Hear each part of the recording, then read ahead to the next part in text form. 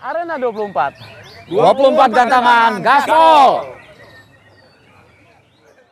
Kalau melihat mendengar nama PMM ya kami langsung bandingkan dengan masterpiece begitu kan karena memang di Lampung memang belum ada ya karena kesan pertama begitu menggoda Yakin? Hari ini menggoda. iya dong iya Sukses buat Pak Iskandar. sukses ya. salam salam dari Lampung Pak Iskandar Oke, oke, ditunggu eh Poinnya dari angka 1 sampai angka 10. Acara Oke. hari ini ada di angka berapa? 11. Nah, ini 11 lagi. Ya, di luar Sembilan lah ya. kalau 9, kalau 11. saya ini saya ibaratkan album pertama meledak 8 lah Ledak 8. meledak jadi ditotalin 9. tapi saya mohon Delapan maaf juga. juga Eh, jangan lupa subscribe channel Arena 24, like, komen, share. Kok mantap sih? Ayo dong harus. Assalamualaikum warahmatullahi wabarakatuh. Selamat sore, salam sejahtera untuk kita semua dan khususnya yang menyaksikan channel YouTube Arena 24. Sekarang kita masih ada di Bandar Lampung di lombanya PMM dan PKM. Ini kita eh, mencoba menyapa, mencoba kita tanya tentang event hari ini. Ada perkenalkan Dari Tujuh Dewa, Lampung. Lampung. Perkenalkan Romi Banisaka Bang Romi. Perkenalkan Rio RML. Bang Rio RML. Dan ini sudah menjelang sore hari, baru aja rintik hujan. Alhamdulillah hujannya nggak dari siang karena cuaca paling mengerikan bro. Nah, nah, menurut bos-bos nih, lomba kita hari ini seperti apa? gitu ya. Jadi saya duluan ya. Ayo bos. Jadi menurut saya ya sudah bagus lah, sudah bagus. Fair play-nya dijunjung tinggi, gitu kan. Fair play artinya memang betul-betul burung yang eh, dapat juara tuh memang betul-betul layak. Bagus, top, Yakin? yakin, yakin. Bertiga setuju? Setuju, setuju. Walaupun kita dipisahkan oleh banner, bukan berarti kita saling berjauhan atau yang penting hatinya nih saling mengikat. Dan gue demen banget hari ini jawaban jujur Ya. bahwa lomba ini fair play. Menjunjung tinggi fair play sudah kita buktikan.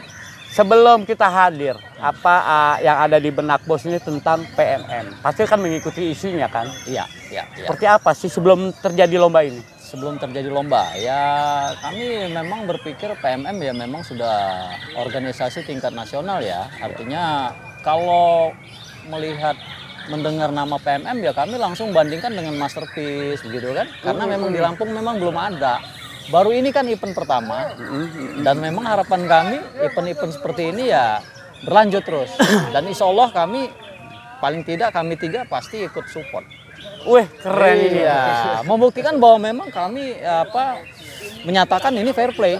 Iya sih. Insya Allah kami pasti join ikut. Hari ini bawa burung apa? Saya bawa burung murai batu. Juara? Samber nyawa.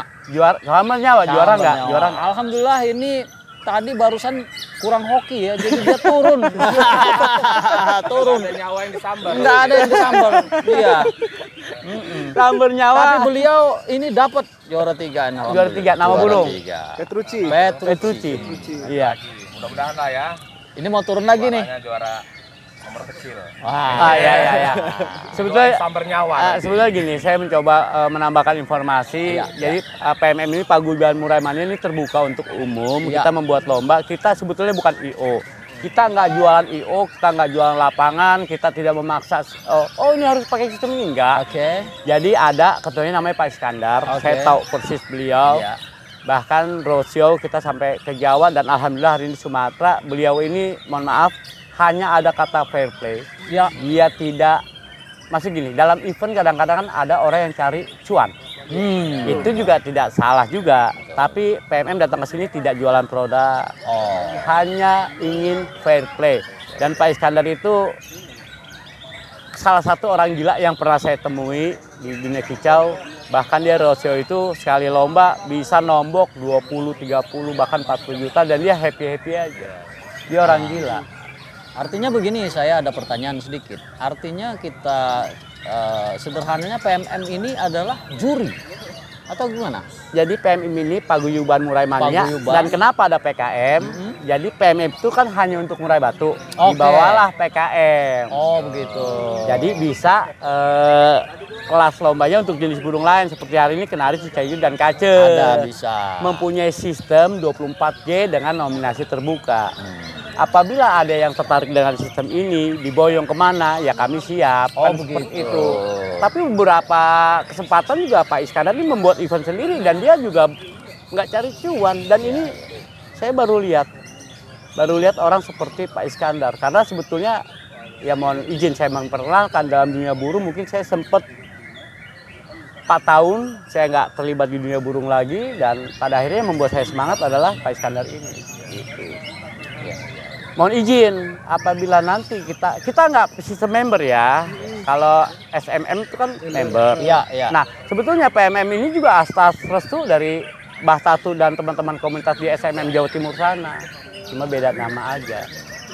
Jadi mungkin nanti kita bisa telepon secara personal dalam arti kata, yuk kita bikin lomba yang yang betul-betul fair play, kita rangkul teman-teman murai. Terus untuk jenis burungnya ada PKM, ya mohon maaf kalau berkenan sebutkan nomor telepon nanti biar saya hubungi aja. Tetap di perwakilan di Lampung nggak ada ya?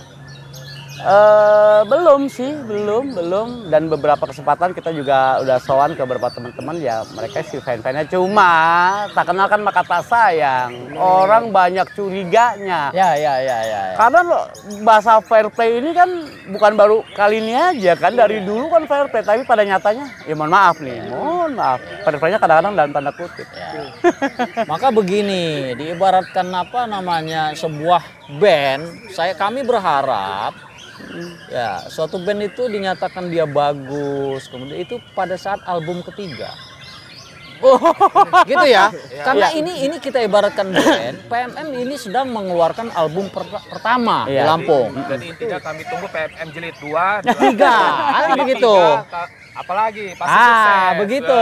Ya, ya. Kalau kita ibaratkan band, itu akan dinilai mutlak jilid? setelah Iya, album iya, ketiga iya, juga iya. tetap meledak, tetap fair play, gitu ya. Jadi Ya. kita begitu. Oh, oh. Ya, ya tinggal bagaimana kita bisa mengemas pertemuan pertama sih sebetulnya. Ya, karena kesan pertama begitu menggoda. Yakin? Hari ini Iya, menggoda. Iya dong. Iya. Sukses buat Pak Iskandar. Sukses. ya. Salam, salam dari Lampung, Pak Iskandar. oke-oke, ditunggu Eh. Poinnya dari angka 1 sampai angka 10. Acara Oke. hari ini ada di angka berapa? 11. ini 11 lagi. Ya, di luar Sembilan lah ya. Kalau 9, Kalau- 11. saya ini saya ibaratkan album pertama meledak 8 lah. Ledak 8. Meledak. Jadi ditotalin 9. Tapi saya mohon Delapan maaf juga. juga, Iya. iya, karena band tadi saya ibaratkan band, saya akan apa menasbihkan bahwa eh, sebagai band bagus, sebagai yang bagus pada saat album ketiga. Iya. Setuju, setuju. Kan gitu ya, Dukun. gitu Iya, gitu dong. Setuju. Mau hancur di album ketiga, Iya. mau terus meroket di, album ketiga. Gitu, bahwa itu jaminannya, kan gitu. Ibarat kalau album per- album pertama itu ya bisa bisa jadi namanya pertama kan, tapi begitu kedua ketiga fair play tetap dijunjung tinggi berarti istimewa, sangat istimewa. Sekarang istimewa. Iya. Dan semoga teman-teman di sini bisa mempunyai rasa yang sama seperti ini dan untuk panitia jangan besar kepala karena pujian adalah kritik yang menggoda. Ya. Berlebihan menyikapinya kita akan tenggelam. Tetaplah kita mawas diri bagaimana kita terus mensupport, terus kita berikan eh, sajian yang lebih menarik lagi. Ya. Terus fair play-nya ditingkatkan lagi. Semoga event kita juga ke depannya lebih bisa diterima. Kami tunggu, kami tunggu event berikutnya. Kami tunggu. Keren ya. Keren. Terima kasih banyak, Bos. Terima kasih banyak. Sukses, sukses. Sukses, sukses. Terima kasih. Arena 24. 24 gantangan, gaspol.